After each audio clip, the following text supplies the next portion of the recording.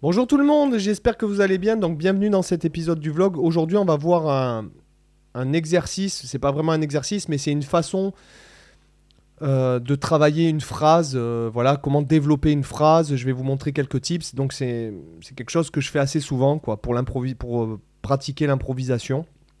Donc je vais vous montrer aussi comment on peut peut-être même faire des trucs out du coup avec ça.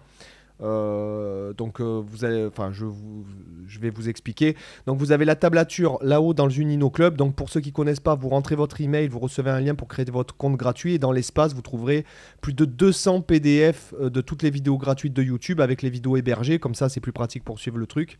Il y a aussi deux heures de formation gratuite, une formation qui s'appelle l'improvisation pour tous. Et il y a aussi des tablatures de backing track, etc. Et dans la description, vous avez ma suggestion lecture de, des livres de musique que je trouve vraiment bien, ainsi que des livres que je trouve inspirants. Donc sans plus attendre, je vais vous expliquer le principe. Hop, hop, voilà, je fais un petit focus. J'ai pas mon réflexe en ce moment, je suis désolé pour la qualité, mais bon, c'est mieux que rien. Euh, Il y a un problème de mise à jour pour ceux qui ont suivi le live l'autre jour, ils sont au courant. Donc on fait avec les moyens du bord. Donc en fait, la phrase de base, elle est ici. En fait, c'est celle-ci. On va se dire qu'on est en ré mineur dorien. D'accord? On pourrait très bien, euh, voilà, on pourrait très bien être dans euh, en la mineur, peu importe. hein. Donc en fait, on sera ré mineur dorien, on sera dans l'harmonisation en fait de, euh, en fait de la gamme majeure de do. D'accord? C'est issu, la gamme mère c'est do, mais moi je pense ré dorien. D'accord? D'accord? Donc en fait, la phrase de base c'est ça.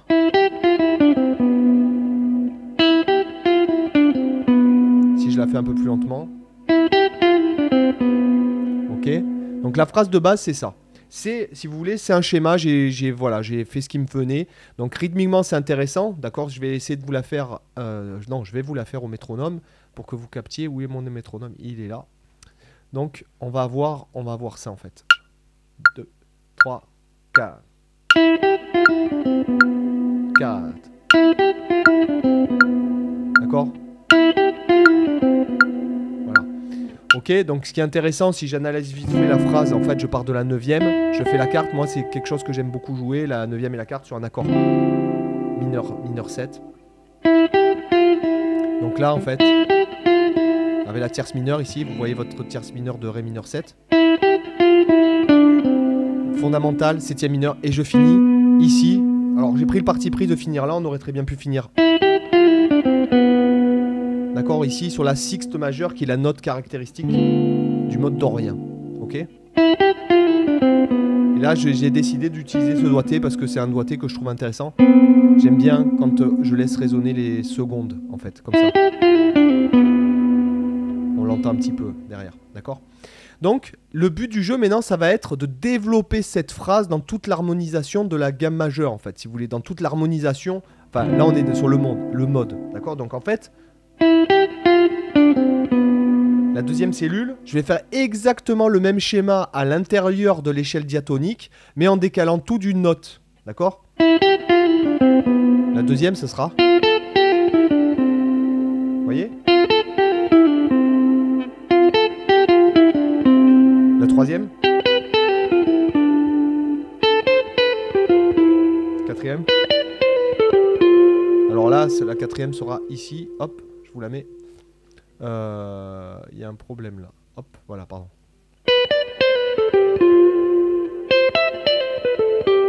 Et le dernier. Je reviens à l'octave, d'accord? Donc vous avez la tablature à l'intérieur euh, du, du Zunino Club. Ce que je veux dire, c'est que euh, voilà, moi c'est quelque chose dont je me sers. Alors déjà, il y a la, ce qui est in- intéressant, c'est le rythme, d'accord? Ok? C'est que je regarde le même rythme. Donc en fait, si vous voulez, alors là je vais un peu euh, rentrer dans un truc un peu pas existentiel, mais ce qui est intéressant avec ce style de truc, c'est qu'en fait on va habituer l'auditeur à un motif.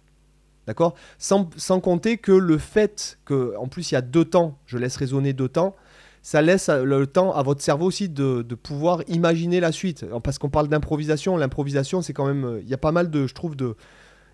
Il y a une philosophie, enfin il y, a une, y a une démarche aussi, si vous voulez, dans l'improvisation. Le but, est- c'est de, de, comme si je vous étiez dans un dialogue, dans une conversation, euh, il faut que vous soyez cohérent dans votre discours, d'accord? C'est pour ça, souvent, c'est ça qu'on voit les très grands improvisateurs. Par exemple, je prends l'exemple d'un Pat Metheny, par exemple, quand vous écoutez les improvisations de Pat Metheny euh, ou de ce, genre de gaz, Scofield, euh, euh, ou même les nouveaux, Gilad Excelmike, Mike Moreno, Lage Lound, etc., etc.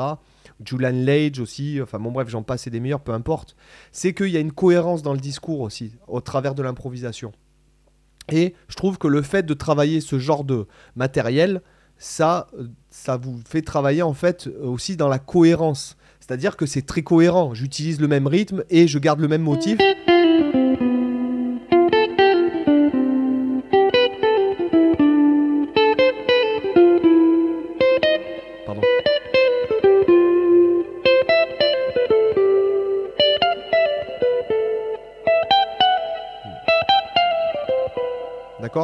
Ce que je veux dire, c'est qu'il y a une cohérence. Là, c'est exagéré, c'est un exercice, euh, voilà. Mais en tout cas, déjà dans le, travail, euh, et puis sans compter que du coup, ça vous donne plein d'idées. Autre chose, vite fait, euh, c'est que ça,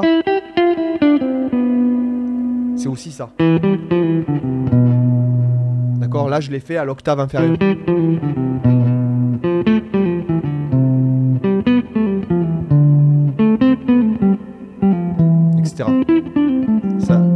C'est à vous de faire ce travail-là.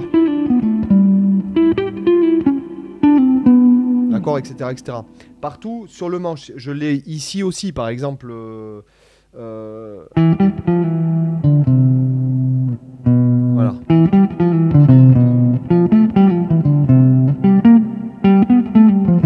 Etc., etc., avec plusieurs doigtés différents, etc. On peut l'avoir ici. Ici aussi, etc., etc. D'accord? Peu importe. Donc là déjà il y a une cohérence dans le discours, donc c'est un bon exercice aussi pour avec le en cherchant les doigtés, c'est un bon exercice pour euh, augmenter la rapidité qu'il y a entre la pensée musicale et les doigts en fait. Vous voyez ce que je veux dire? C'est parce que beaucoup de gens se disent est-ce qu'il faut que je chante intérieurement, est-ce qu'il faut que je chante mes improvisations, etc. Oui, tout est bon à, faire en fait, d'accord? Ce que je veux dire, c'est que le but, le but ultime, et là où c'est vraiment euh, euh, pour, euh, euh, rigoler, mais là où c'est vraiment bon, en fait, c'est quand on commence une fraction de seconde, on a ce qu'on veut jouer, en fait, en tête. C'est là que c'est bon, en fait, et que quand on y arrive, d'accord?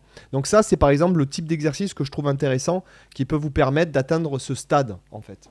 Bon, alors ça va pas prendre, ça va pas prendre trois jours, hein, euh, voilà, mais il va y avoir de la besoin de pratique, etc. Mais ce que je veux dire, c'est que c'est une des façons, je trouve, qui est très intéressante d'y arriver. Donc, au niveau des doigtés, vous avez la tablature. Et là où c'est intéressant, maintenant, je vais, par exemple, là où c'est intéressant, je vais repartir avec cette tablature-là, c'est que l'idée rythmique et l'idée mélodique sont tellement fortes qu'après, on peut se permettre des trucs. Par exemple, par exemple, on peut faire n'importe quoi même derrière.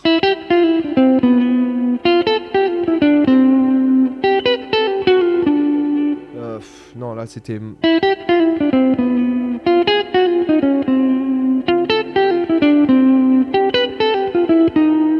Par exemple, là, j'ai. En fait, j'ai. Alors, j'ai essayé de faire des trucs. En fait, on peut faire même n'importe quoi, ça sonnerait bien si on est dans le, dans le flow.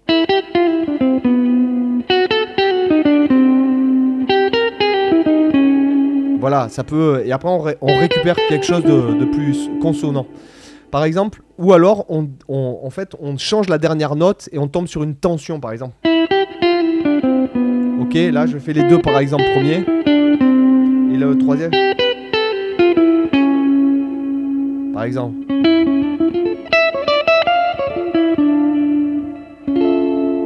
Voyez ce que je veux dire Par exemple, l'idée?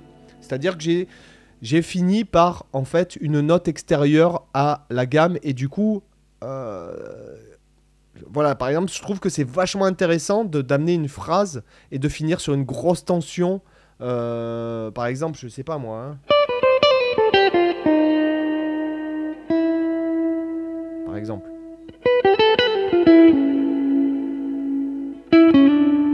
Voilà. On met une tension, du coup, ça surprend, du coup, ça sonne euh, romantique en fait. Le, ça sonne, c'est comme une épine, l'épine d'une rose par exemple. La phrase est belle et l'épine, malgré tout, euh, enfin alors je sais pas si la comparaison est bonne, mais voilà.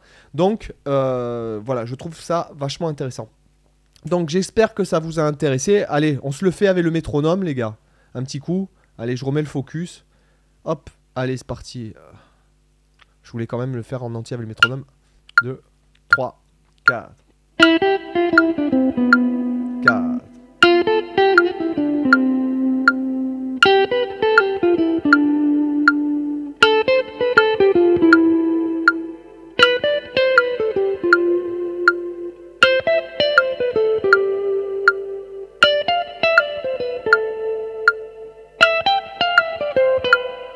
D'accord?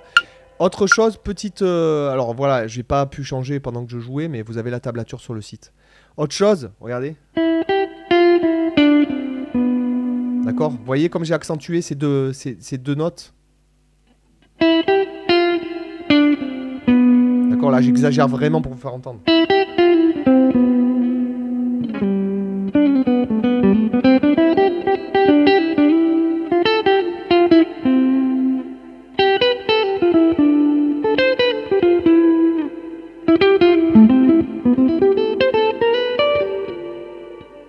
D'accord? Ça peut donner plein d'idées euh, et ça peut vous, faire en fait des matrices de phrases.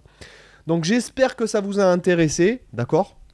Écoutez, euh, je vous dis à demain pour une autre vidéo. Bye bye, ciao